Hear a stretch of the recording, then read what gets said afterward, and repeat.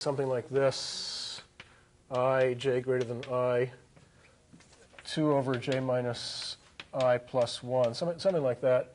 And um, this was the expected number of comparisons that randomized quicksort did. And the key to that whole thing was a very, very cute kind of insight to see that this was the probability that the element, the, the ith smallest element, would be compared to the jth smallest element in an execution of randomized quicksort. And that was the, the really subtle thing that we spent most of our time on. And if you uh, look in, in CLR, you'll also see an analysis of randomized quicksort. It may not be exactly the same setup, but it's getting to the same uh, basic kind of conclusion. But their analysis is totally different.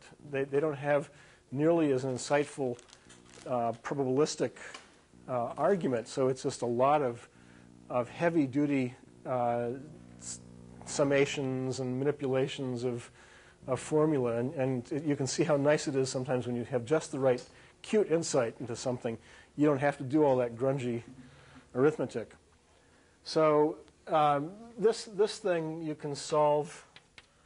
Uh, what, what does this look like?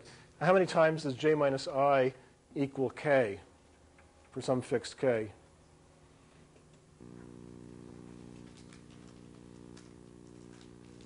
I mean, how many times is this? Let's forget the plus 1. How many times does this equal 1? roughly? Yeah, roughly n times. And how many times is it equal 2 is roughly n minus 2. And how many times is it equal 3? Roughly n minus 3, and so on.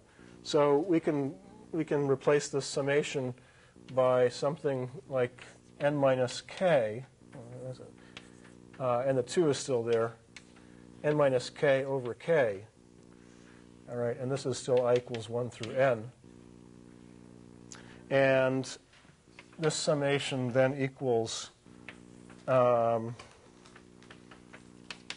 2 over k, the n comes out, minus 2k over k. Uh, oh, what happened to the, yeah, but there's n of those guys, so like that. Okay, so we get whatever this sum is minus 2n. And what, what is this sum? Well, this sum is obviously equal to 2n, 1 over k.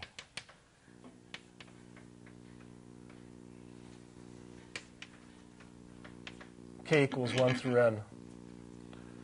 All right, well, I'll carry along that thing. What's this sum?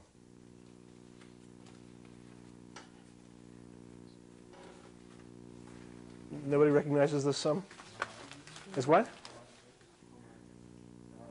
Yeah, this is the harmonic series. Okay, this is uh, h of n. So 2n h of n minus 2n. But the harmonic, this is, this is called the harmonic series, and it's about the natural log of n. So 2n natural log of n minus 2n. Okay, and how do you see that this is about the natural log of n? That this summation is about the natural log of n? It's what? Yeah, Right, right. You replace the summation with an integral, and how do you see that the integral of this is about log n? Is because the derivative of log n is about 1 over n. Okay? So, I mean, you do have to bracket it top and bottom, but it's all, it all works out. And I think they do that uh, in the book. I mean, in the beginning sections of the, of the book where they remind you of the relevant mathematics, they do talk about the harmonic. So you can look that up in, in CLR as well. So what we have is the expected number of queries, expected number of comparisons in randomized quicksort looks an awful lot like the uh, worst case number that we came up with for merge sort. All right. And the, one of the neat things about this analysis, again, is that the randomization is inside the algorithm. You're, you're picking randomly the pivot element. It's not um, average, or they say the average. The averaging is over the execution uh, of, the, of the algorithm where the randomized elements in there is, is what you pick as pivot. It's not an average over all possible inputs. Okay, so in fact, it's, it's a stronger kind of argument because it says no matter how pathological you think your particular input is, if you randomize on the pivot, you can defeat uh, any adversary who's trying to make your algorithm run in n squared time. Okay. So, in fact, it might be a good uh, homework exercise to ask you to try to use this machinery that proved something about every input, but randomizing the, the, um, the choice of the pivot, to use that machinery to prove something that's randomizing or averaging over your choice of inputs when you have, uh, let's say, a fixed uh, rule. You don't randomize on your pivot, but you have a fixed rule for how you're going to pick the pivot.